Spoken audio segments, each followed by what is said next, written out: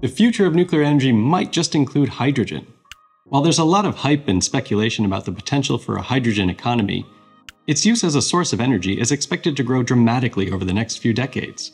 Use of nuclear energy to produce hydrogen is attractive not only because of the large scale that it could be deployed, but also because it can be done essentially with zero emissions.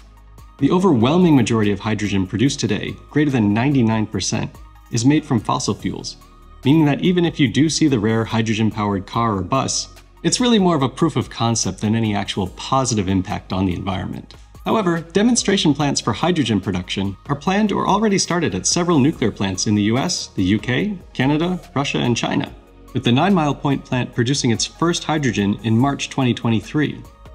The global role of hydrogen for energy consumption is expected to increase from today's 2.5% to 10% by 2050, and of that, 90% should come from low carbon sources.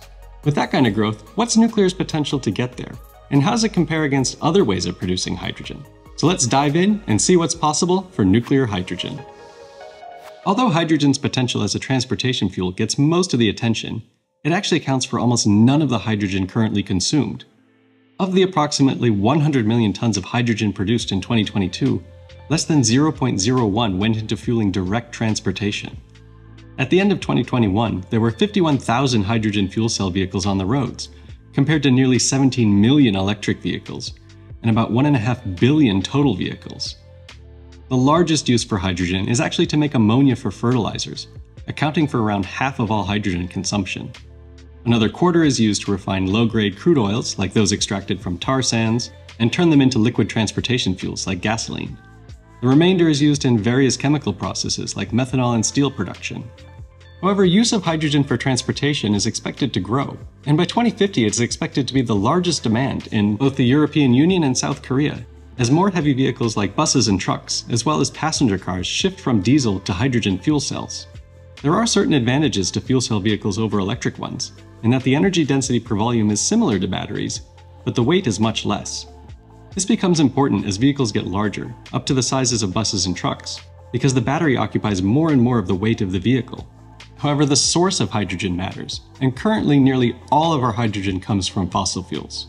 In short, the basic process involves putting natural gas or coal under high pressure and temperature steam to separate the hydrogen atoms from the carbon atoms. This results in just as much CO2 being created as simply burning the fuel, and can result in substantial emissions.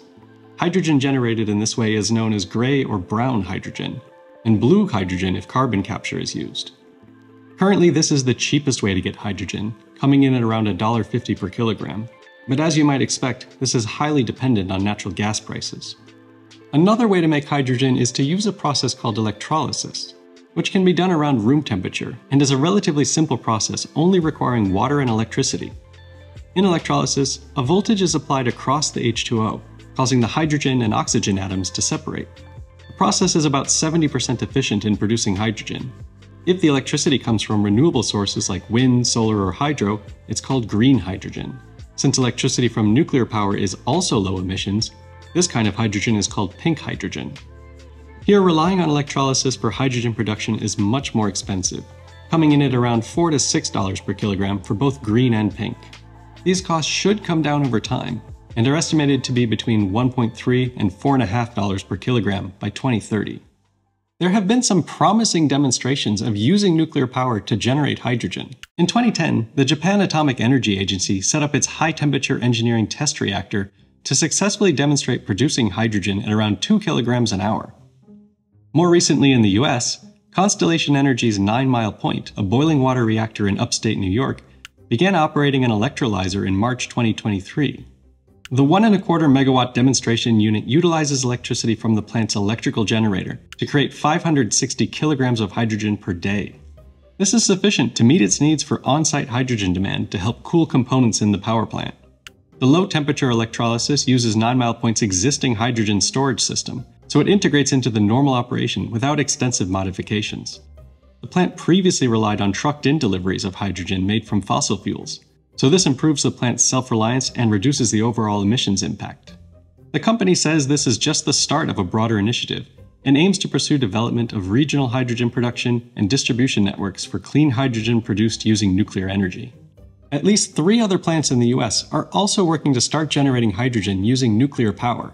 The Davis-Besse plant is also working to demonstrate a low-temperature electrolysis system. The goal of the project is to prove the technical feasibility and economic benefits of clean hydrogen production. The reactor is expected to produce hydrogen at the end of 2023, with potential uses for local manufacturing and transportation services, including fuel for a local bus fleet. The Prairie Island plant announced plans to install a 240 kilowatt high temperature electrolysis demonstration by the end of 2024. Unlike the low temperature systems installed at Nine Mile and Davis-Besse, which use only electricity, a high temperature system relies on a combination of both electricity and steam, which promises greater efficiency, using about 30% less overall energy to produce the same amount of hydrogen. It's more complicated to design and implement, but it could prove to be a more efficient option in the future. The Palo Verde nuclear plant in Arizona also aims to produce clean hydrogen using low temperature electrolysis. But here, the idea is to produce and store up to 6 tons of hydrogen that can then be directed to natural gas turbine plants during periods of high grid demand or low solar availability. The concept of producing hydrogen for energy storage is gaining traction, especially as variations from renewables like wind and solar increase on the grid. In Russia, the Kola nuclear power plant began operating a 1 megawatt demonstration hydrogen production system in December 2022. Similar to the one in use at the Nine Mile plant, it is producing hydrogen to be used to cool plant components like the main turbine generator. The company says the capacity could be increased up to 10 megawatts. In the UK, although construction on the plant hasn't even started yet, there are plans to include hydrogen production at the Sizewell C plant as part of a broader effort to diversify the area's fuel supplies. The idea here is to be able to provide hydrogen to the regional community and nearby seaport, in applications where replacement of fossil fuels is more practical. While all of these projects are in the demonstration phase, their success could lead to cost reductions, and other nuclear plants exploring their own hydrogen production. The US Department of Energy estimates that a single 1,000 megawatt reactor could produce up to 150,000 tons of hydrogen each year. This could be sold regionally for a variety of things, such as fertilizers, oil refining, steel production, material handling equipment, fuel cell vehicles, and even carbon neutral synthetic fuels. Even with all these potential uses, there are several limitations to using hydrogen as a direct replacement for fossil fuels. One issue is that the energy density of hydrogen per volume is relatively low. For vehicles, this means it needs to be highly compressed and stored in special tanks. While this isn't impossible, it does complicate the design and delivery systems compared to fossil fuels or electric vehicles, which can be somewhat more forgiving. For large-scale storage, compression alone isn't practical and additionally requires cryogenic freezing for trucks and ships. This is why most hydrogen production focuses on regional delivery.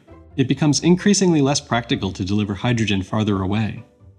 Large-scale storage has also been proposed inside of depleted gas fields and salt mines. In these cases, hydrogen is produced using clean energy during periods of low demand and then pumped underground.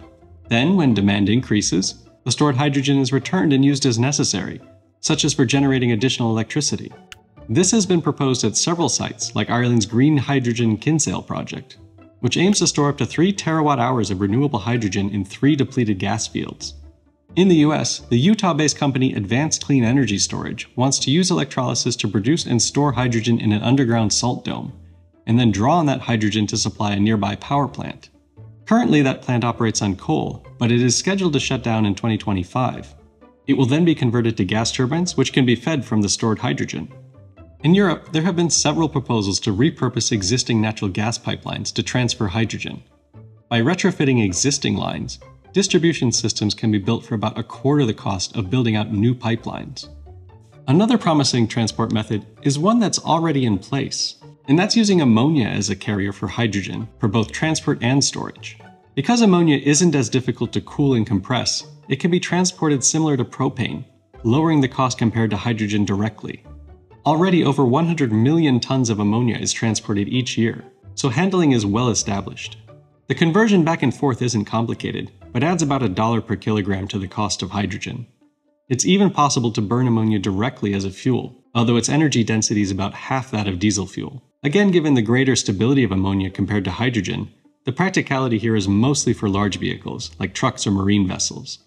So where do we see hydrogen and nuclear's role in the future? Government support has generally been strong, with multiple programs and funding available.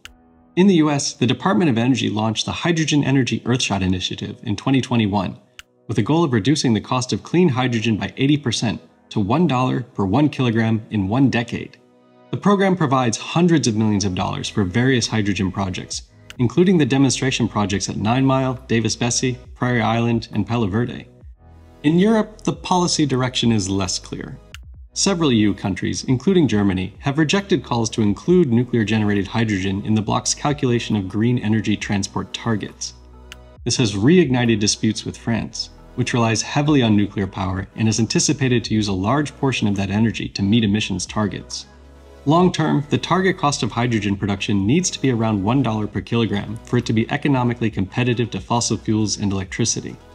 Nuclear energy can offer benefits compared to renewables for hydrogen production, particularly in the areas of scale, reliability, and the use of nuclear steam heat to produce it more efficiently. The ability to generate and store massive amounts of energy for later use could even be a game changer. Combined with other advances in increasing adoption, pink hydrogen may well have a bright future ahead if the costs, technology, and politics align. And if you'd like to show off your support for alternative nuclear energy, you can pick up an Ask Me About Thorium mug. Doing so directly supports this channel and gives you some pretty cool gear as well. So what do you think? Does nuclear generated hydrogen have a future? Let me know in the comments. I hope you enjoyed, and thanks for watching.